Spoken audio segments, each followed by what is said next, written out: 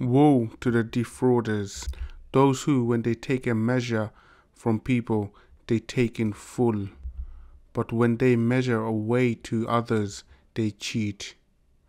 Do these not know that they will be resurrected for a great day?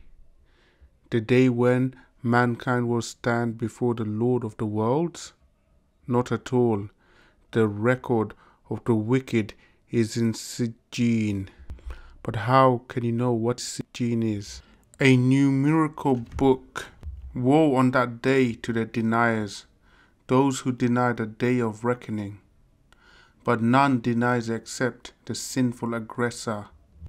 When our revelations are recited to him, he says, Legends of the ancients. Not at all. Their hearts have become corroded by what they used to earn. Not at all.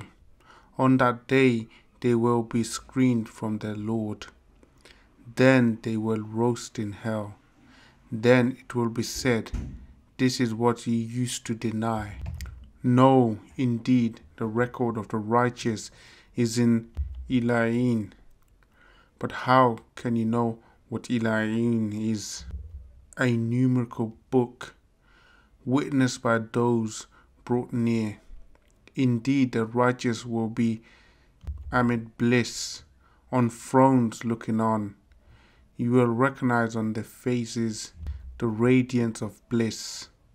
They will be given to drink a sealed wine, whose seal is musk. This is what competitors should compete for.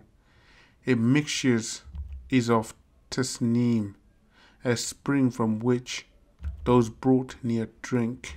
Those who committed crimes used to laugh at those who believed, and when they passed by them, they would wink at one another. And when they went back to their families, they would go back exulting. And if they saw them, they would say, These people are lost. Yet they were not sent as guardians over them. But on that day, those who believed will laugh at the unbelievers, on luxurious furnishings looking on.